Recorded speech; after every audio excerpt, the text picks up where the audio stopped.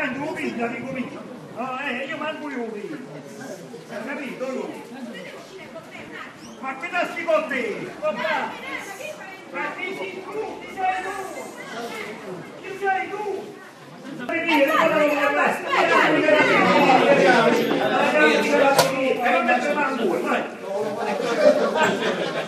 Irruzione con qualche momento di tensione blitz di una delegazione di lavoratori e sindacalisti presso gli uffici della sede INPS di Avellino. Gli operai dell'industria italiana autobus chiedono venga liquidato il TFR, la parte a carico dell'istituto di previdenza maturato negli anni in cui hanno lavorato per Irisbus così come previsto dall'accordo stipulato tra le parti. Non solo, è stata avanzata anche la richiesta di ottenere un ulteriore anticipo di cassa integrazione, troppo pochi infatti i 500 euro che attualmente le le tute blu percepiscono.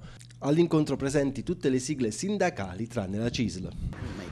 Zaolino blitz eh, dei lavoratori dell'industria italiana autobus all'Inps questa mattina per affrontare tra l'altro anche il tema della liquidazione, come è andata? Beh, possiamo dire che è andata bene perché abbiamo incontrato il direttore e il responsabile dell'area e tutti hanno capito che noi facciamo sul serio, che di fronte a quattro mesi persi eh, tra chiacchiere, parole inutili eccetera, ci stanno 280 persone che vivono con 500 euro al mese, mentre qui ci sono alcune decine di milioni di euro versati dall'azienda precedente che devono essere eh, trasferiti ai lavoratori e se non avessimo fatto questa protesta eh, la storia si allungava di altri mesi, però a questo punto dalla prossima settimana si fa sul serio, entro un mese i lavoratori percepiranno quelli che sono i loro diritti e cioè la liquidazione eh, dei vent'anni precedenti. È stato affrontato anche il tema dell'anticipo della cassa integrazione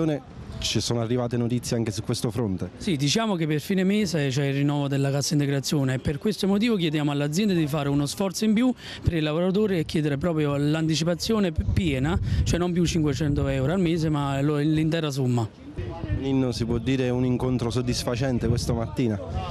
Ma gli incontri sono sempre soddisfacenti, poi bisogna vedere se alla fine vengono mantenuti gli impegni. La cosa assurda in quest'Italia fatta in un certo modo che uno per avere quello che gli spetta deve andare a chiedere, sembra che ti facciano un piacere. Questo penso che in un'Italia normale non dovrebbe succedere.